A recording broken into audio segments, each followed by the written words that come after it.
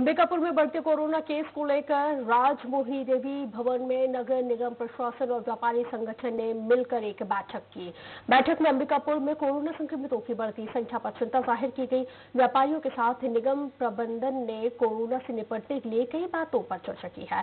जिसमें सबसे अहम यह है कि शहर का कोई भी दुकानदार बगैर मास्क वाले ग्राहकों को सामान नहीं बेचेंगे। इतना ही नहीं, व्यापारियों ने निगम पदाधिकारियों के सामने इस बात का भी संकल्प लिया कि दुकान में आने वाले ग्राहकों की दो गज दूरी के बारे में ख्याल रखा जाएगा। सरगुजा ट्रक मालिक संघ के अध्यक्ष रविंद्र तिवारी ने बाहर से आने वाले तमाम ट्रकों पर विशेष ध्यान दिए जाने की बात की है।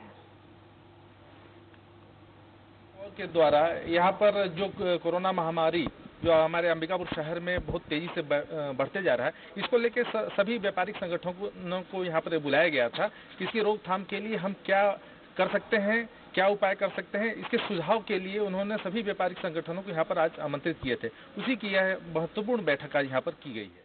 कैसे हम इस चेन को ब्रेक करें? आ, क्या हमें सप्ताह में दो दिन लॉकडाउन करना चाहिए? और इसी तारतम्य में हम सम्मानित व्यापारिक संघ से सभी सेक्टर सभी के साथ में एक सुझाव है तो एक बैठक करना चाह रहे थे।